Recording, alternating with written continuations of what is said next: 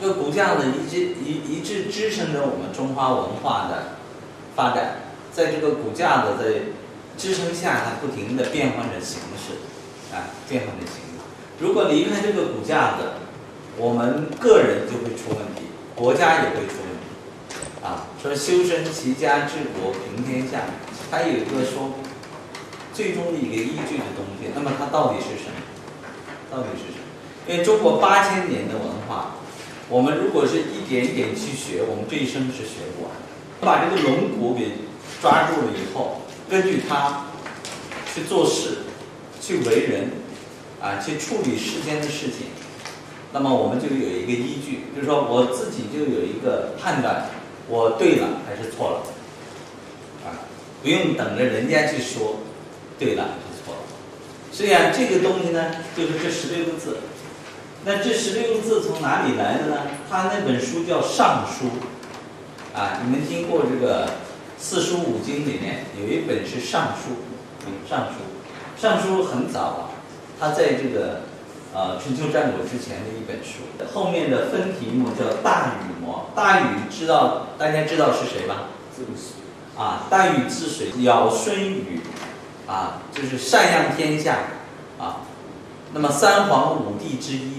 等等，你们经常说三皇五帝以至于今，就是三皇伏羲、神农啊，然后燧人伏羲啊，燧人神农皇，然后五帝是皇帝，皇帝后面还有啊两个呃两个中间的，那么后面就到尧舜禹，就是三个啊，是三皇五帝以至于今，这是我们中国古文化到今天的一个法脉相传。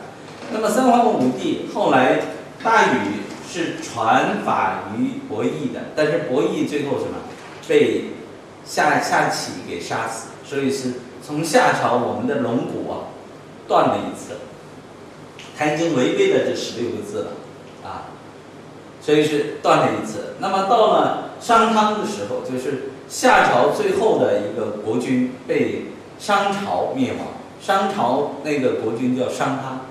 啊，商汤，商汤是商朝的开国元勋啊，帝王。所以到了商汤之后，就进入了夏商周的夏商。商之后到了最后的一个皇帝叫商纣王，啊，商纣王就是我们你们今天新加坡知道的那个《封神榜》里的人物啊。那么他是残暴的一个国君啊，也是违背了这个大一统的道统的东西呢，就被周文王。周武王啊，在姜子牙的辅佐下，把他怎么样给灭掉了？所以是从此开始了周朝的天下，说夏商周啊，啊夏商周。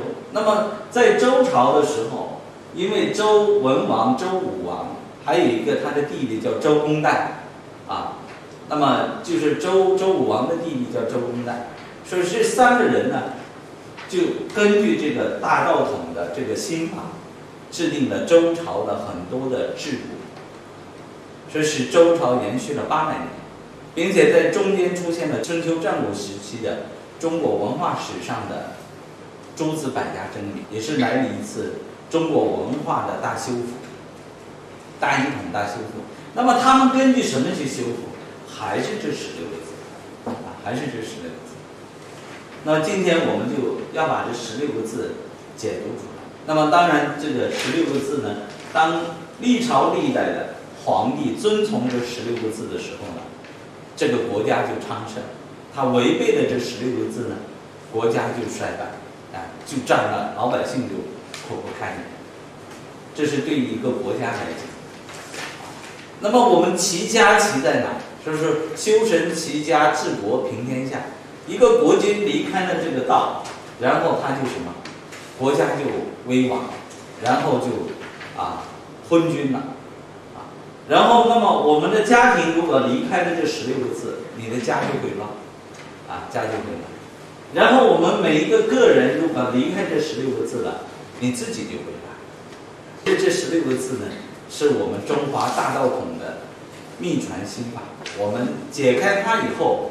大家看我把《得道经》翻开，你才能够看得懂这本《得道经》，否则你就根本看这个《得道经》，想读懂它，就跟天书一样。而说张老师这十六个字好像是都懂了，很简单的，对不对？没有那么复杂嘛，你还要三个小时给我们讲，不就是又浪费我们的时间？